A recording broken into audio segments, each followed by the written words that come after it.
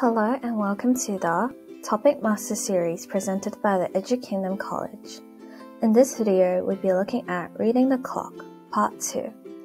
On a clock, the longer hand is a minute hand, the shorter hand is the hour hand, and the thinner hand is the seconds hand. Besides the hands and the numbers, there's also little lines between the numbers.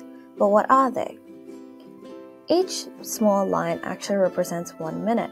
One, two, three, four, five, six, seven, eight, nine, ten, and so on. If you haven't noticed already, every big number goes up by 5 minutes.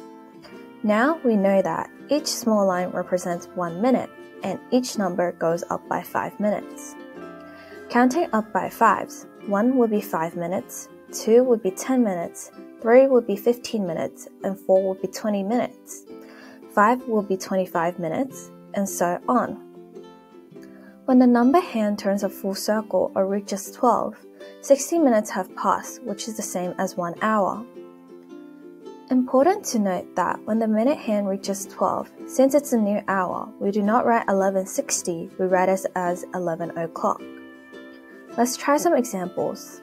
The clock on the left here, the hour is on 10, and the minute hand is on 2. So let's count by fives. 5, 10. Since the minute hand is between 12 and 6, it'll be past.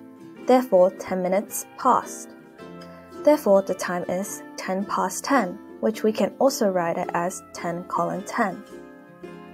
Now, let's try to draw the clock hand on the analog clock from a digital clock's time. Since we know that hour hand is going to be the number on the right on the digital clock, for the first clock here, hour hand will be pointing to 9. Now, for the minute hand, we need to count up by 5s until it gets to 20. 5, 10, 15, 20. 20 at 4.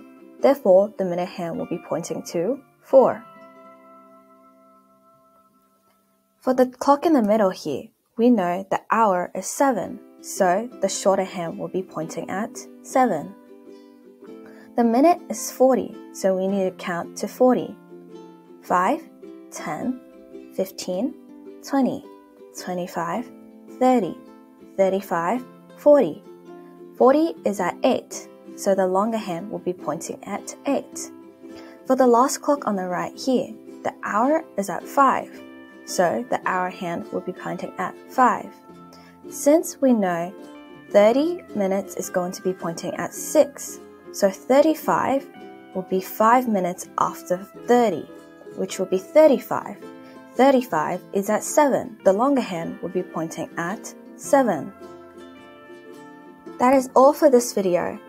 Discover more English and Maths video by exploring our channel.